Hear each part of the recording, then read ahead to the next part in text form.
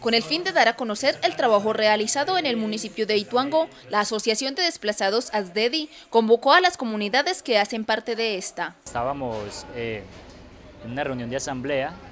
con cada una de las personas para dar a conocer el trabajo que hemos venido realizando acá en el municipio en beneficio de, de las familias que aparecen asociadas. La ampliación de cobertura se hizo necesaria a raíz del crecimiento de la población vulnerada. La necesidad se dio con base a, ver de que no había sido una sola asociación y esta asociación hacía parte del Parque Nacional Natural Paramello y no teníamos eh,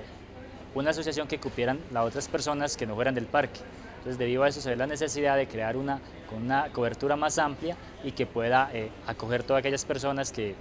que son desplazadas. El restablecimiento de derechos se viene dando de manera paulatina. Asimismo, se está procurando abarcar la mayor parte del territorio ituanguino con el fin de incluir a las familias más alejadas que hacen parte de esta población. En la asociación tenemos gente de las veredas salientes del Parque Nacional Natural Paramillo,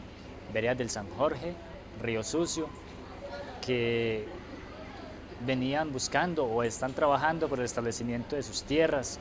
y en de sus derechos. Eh, también eh, en esta propuesta de esta asociación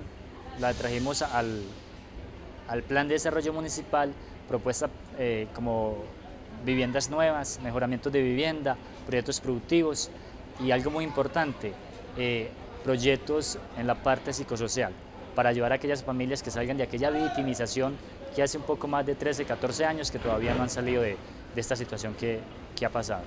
El gobierno nacional y departamental convoca a las comunidades organizadas para el tema de restablecimiento de derechos, pues es a través de la colectividad que se dan los proyectos y no de manera individual. Para las personas del municipio,